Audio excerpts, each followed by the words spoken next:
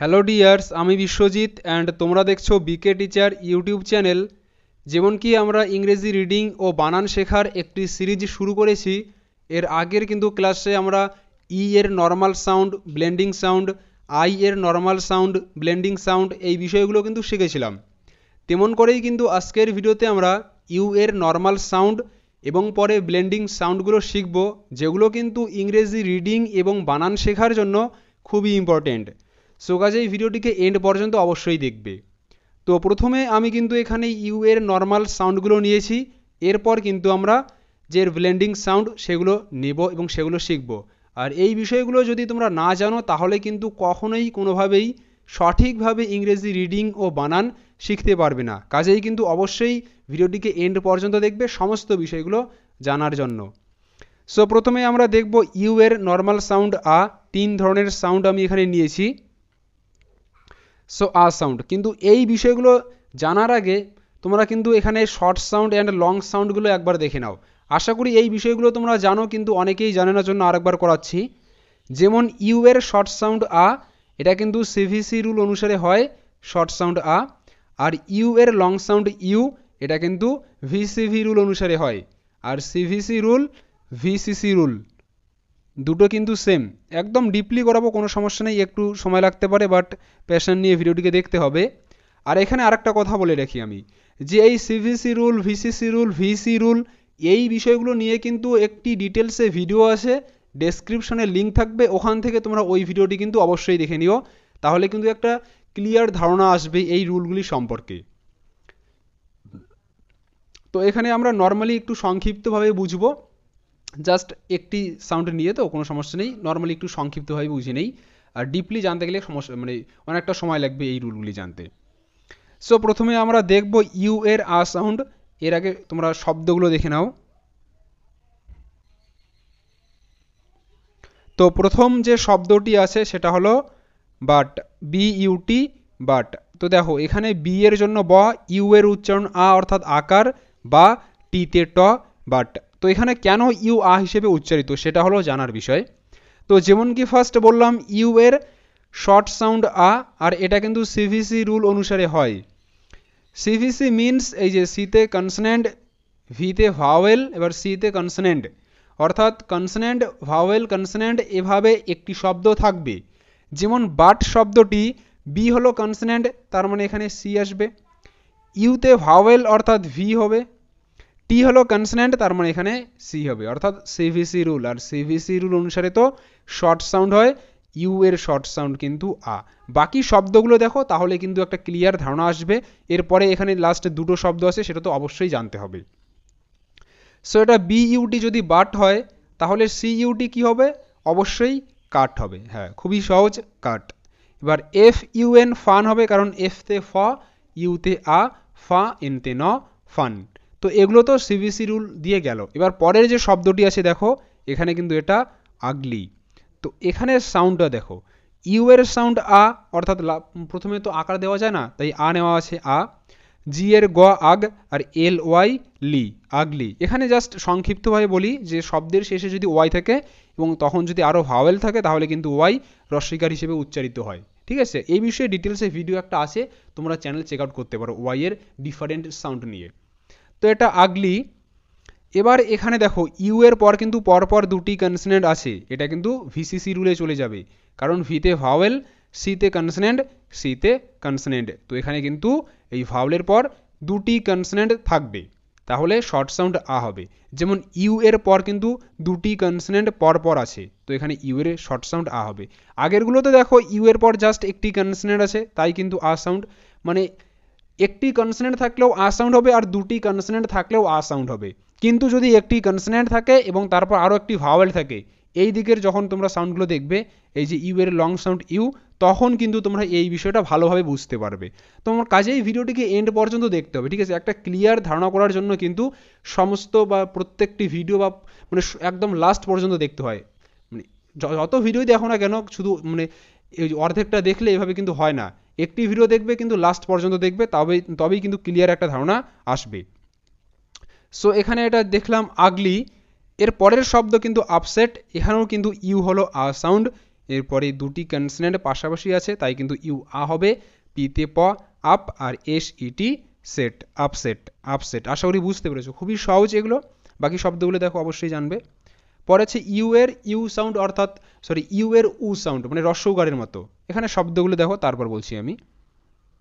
তো প্রথম শব্দ হলো bull, B U double L, bull, পরে F U double L, full, P U double L, pull, P U S H, push push.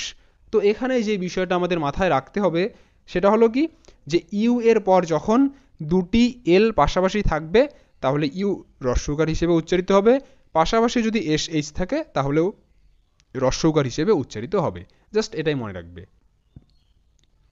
এবার এরকম করে কিন্তু আরেকটা শব্দ যেমন আছে পি ইউটি পুট এটা কিন্তু ডিফারেন্ট দেখো পিইউটি যদি বাট হয়, তাহলে পি ইউটি পাট হওয়ার কথা কিন্তু এটা পুট তো এটাই কিন্তু ইংরেজির ক্ষেত্রে কিছু ব্যতিক্রম থাকে। মানে এই কারণে ভাষাবিদরা ইংরেজিকে কিন্তু বলে যে crazy language English is the crazy language ঠিক আছে?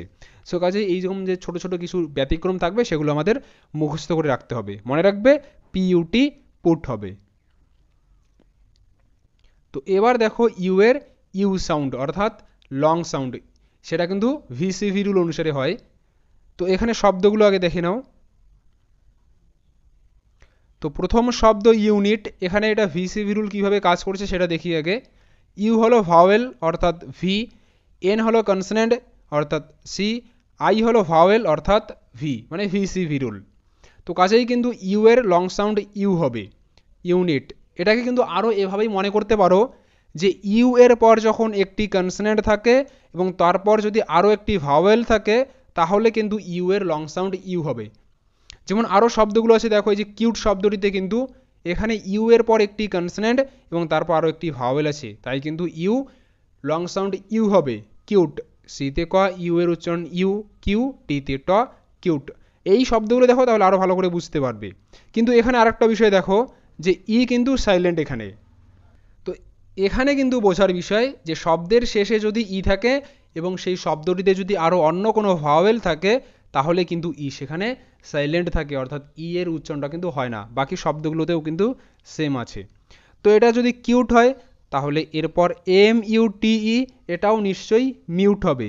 মিউট কারণ এখানে ইউ হলো ভাওয়েল অর্থাৎ ভি টি হলো কনসনেন্ট অর্থাৎ সি পরে ই ভাওয়েল অর্থাৎ ভি মানে ভি সি ভি রুল তো এটা মিউট মিউট পরে হিউজ এটাও সেম প্যাটার্নে আছে। তারপরেরটা দেখো ইউনিফর্ম এটাও কিন্তু ওই যে ইউ এর পর একটি কনসনেন্ট এবং তারপর একটি ভাওয়েল আছে। তাই কিন্তু ইউ এর লং সাউন্ড ইউ হচ্ছে।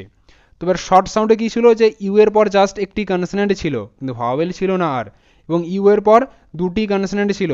ইউ এর পর দুটি কনসনেন্ট তারপর যদি ভাওয়েল থাকে, তাহলে কিন্তু শর্ট সাউন্ড আ হবে। কিন্তু শুধুমাত্র যদি ইউ এর পর একটি কনসনেন্ট এবং তারপর একটি ভাওয়েল থাকে, তাহলে কিন্তু লং সাউন্ড ইউ হবে ইউনিফর্ম আশা করি বুঝতে পারছ।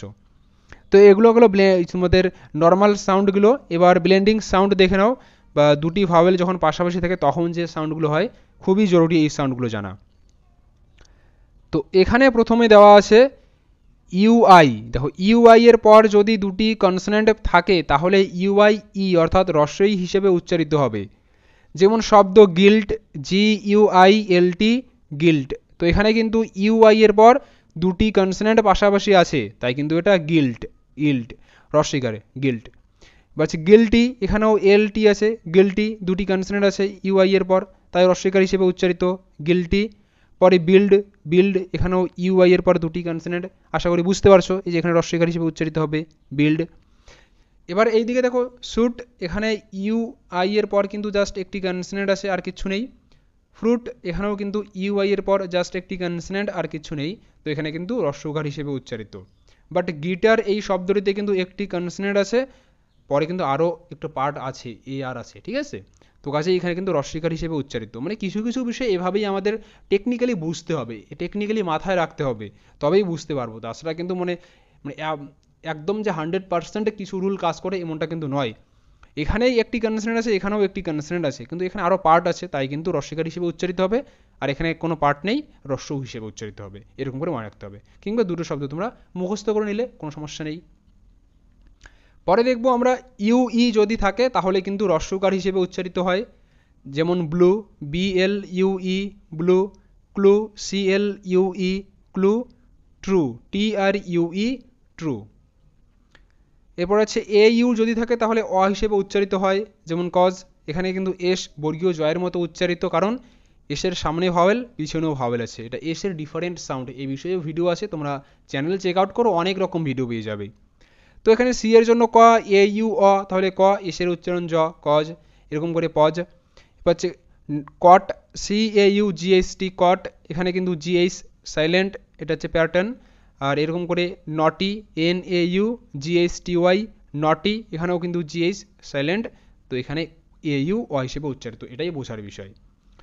এবার যে লাস্ট আছে, এখানে কিন্তু ও ইউ আউ সাউন্ড দেওয়া আছে, কিন্তু এর পাশাপাশি ও ইউ কিন্তু আরও বিভিন্ন ধরনের সাউন্ড ক্রিয়েট করে। তো এই বিষয়ে একটি ডেডিকেটেড ভিডিও আছে ডিটেলসে বলা আছে ডেসক্রিপশনে লিঙ্ক থাকবে, ওখান থেকে তোমরা ওই ভিডিওটি দেখে নিও। ওখানে ও ইউ নিয়ে যত সাউন্ড আছে, সব বিষয়ে ক্লিয়ার হবে। তো এখানে আমি নর্মালি আউ সাউন্ড নিয়েছি যেমন count C O U N T count M O U N T mount R O U N D round S O U N D sound তো এখানে কিন্তু বাংলাতে লিখে দেওয়া আছে, এগুলো খাতায় লিখবে অ্যান্ড প্র্যাকটিস করবে। এবার দেখো ও ইউ এর আরও সাউন্ড একটা দেখো।